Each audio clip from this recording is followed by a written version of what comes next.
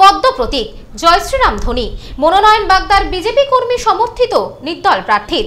ঠাকুরবাড়িকে রাজনীতি মুক্ত করার ডাক দিয়ে লড়াইয়ের ময়দানে এলাকার শিক্ষক। আগামী দশ তারিখ বাগদা কেন্দ্রে উপনির্বাচন।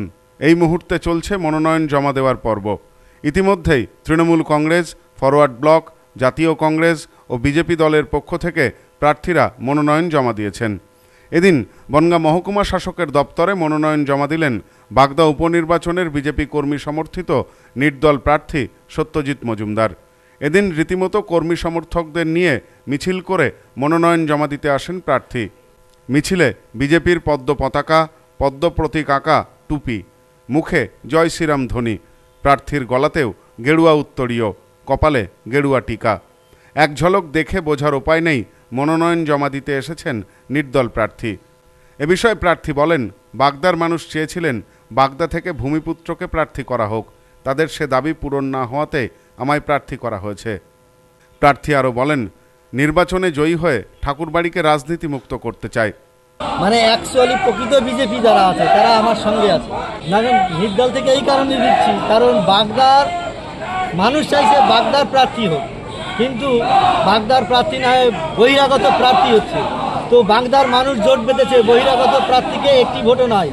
বাগদার ভূমিপুত্র সত্যজিৎ মজুমদারকে ভোট দেবে এই সিদ্ধান্ত নিয়ে আমাকে মনোনীত করেছে। তাই আমি নমিনেশন সাবমিট করি। সবই বিজেপির কর্মী কিন্তু আমি তো কোনো পতাকা নিইনি।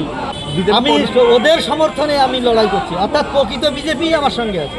আমার সঙ্গে যারা আছে পিছনে সবাই মতুয়া ভক্ত বিজেপি কর্মী সমর্থক।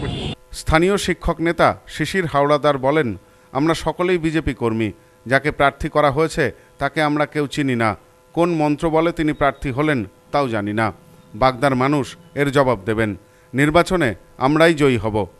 আমরা হচ্ছে বিজেপির আসল কর্মী।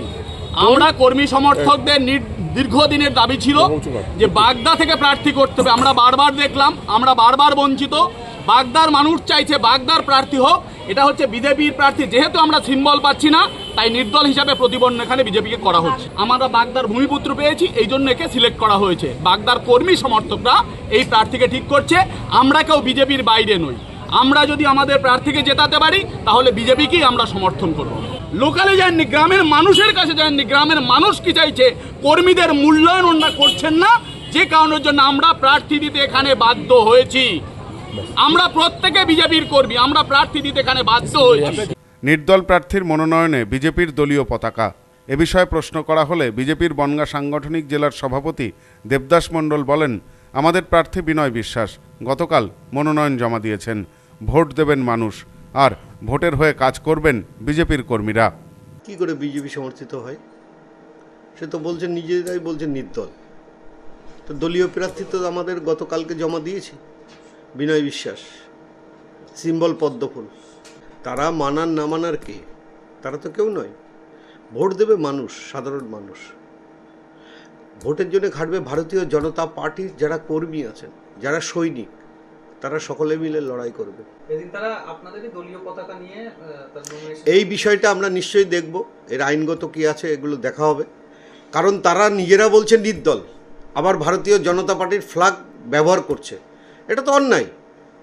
এটাও অন্যায় এবং সেটা আমরা দলীয় স্তরে দেখব এবং তারপরে সিদ্ধান্ত হবে সেটা আমরা আইনের সাহায্য নেব।